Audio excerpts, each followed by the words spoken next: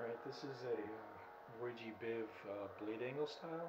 Um, so I've got two versions. One's going to be blade angle, one will be twist angle. But it's just a kind of a fun rainbow blade.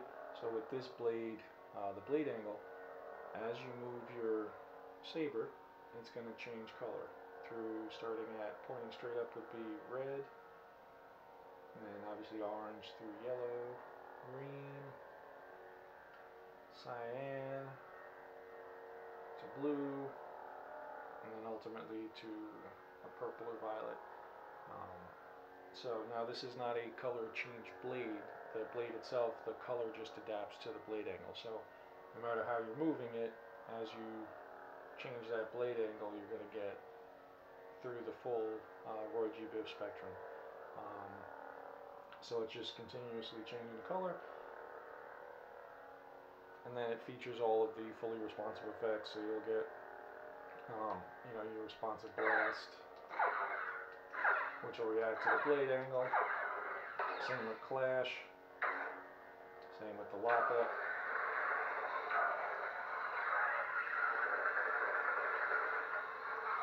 And you'll get your lightning block.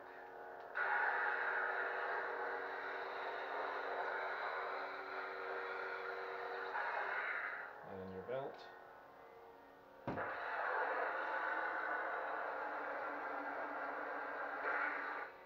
Um, and then all the customizations are possible, so you can change your ignition and everything in the library.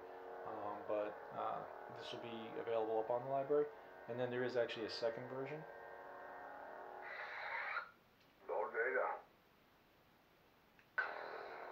And this version is the same Roy G. Biv, but instead of being blade angle, this one actually just reacts to turning of your hilt.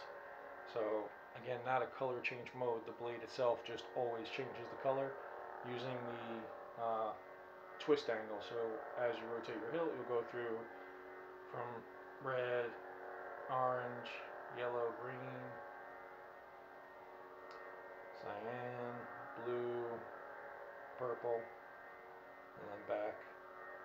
So this one just gives you kind of a continuously changing blade as well. So if you wanted, uh, you know, just kind of have a fun use of the uh, capabilities of blade angle and twist angle. Um, these are just some unique styles. Um, so they are up on the library. There is the two versions, um, and you can use the customize enhance button on them